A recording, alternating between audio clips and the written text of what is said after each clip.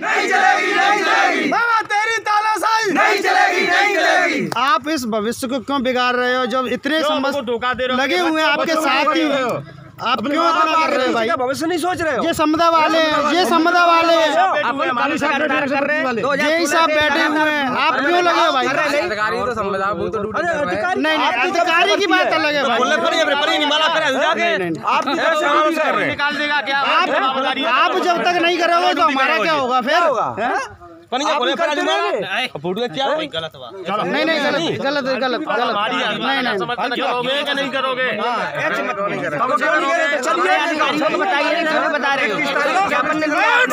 क्यों तो हो आपसे गलत कर जाएगा आप दूर कोई दिक्कत नहीं चलो चलो चल जाएगी आपको बुरा लग जाएगा चलो चलो क्योंकि हम संगठन